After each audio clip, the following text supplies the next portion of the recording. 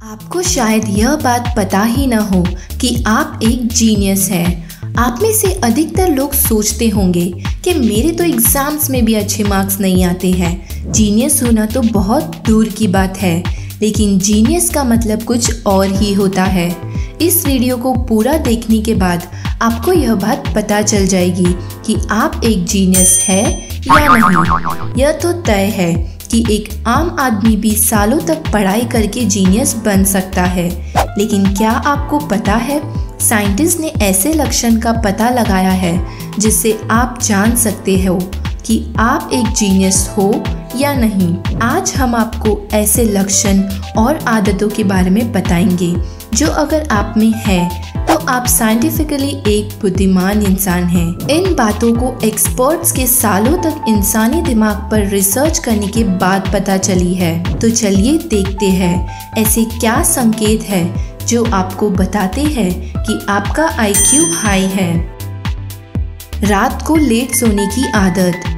एक जीनियस हमेशा हर जगह से ज्ञान प्राप्त करने की कोशिश करते रहता है और इस वजह से वो रात रात भर इंटरनेट पर कुछ ना कुछ जानकारी हासिल करते रहता है, जिसके वजह से उसका ज्ञान और भी बढ़ जाता है। इसी वजह से ज़्यादातर जीनियस लोगों को इंसोमिया नामक एक बीमारी हो जाती है मतलब रात को लेट सोने की आदत।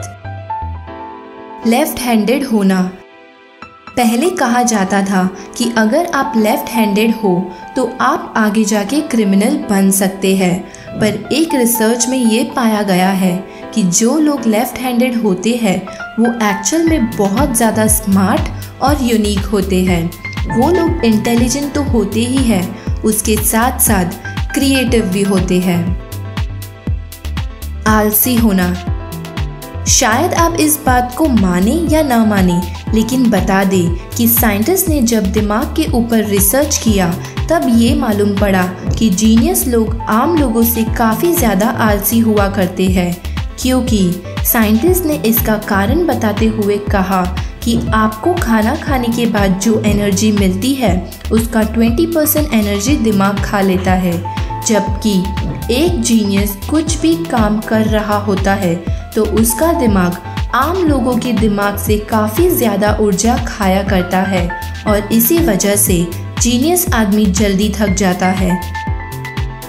कम सामाजिक होना, कम सोशल होना, लोगों से बातचीत करने में दिक्कत होना, ये सब बातें नेगेटिव तो है, लेकिन ये खूबियाँ उन लोगों में पाई जाती है जिन लोगों की दिमाग की संरचना यूनिक होती है।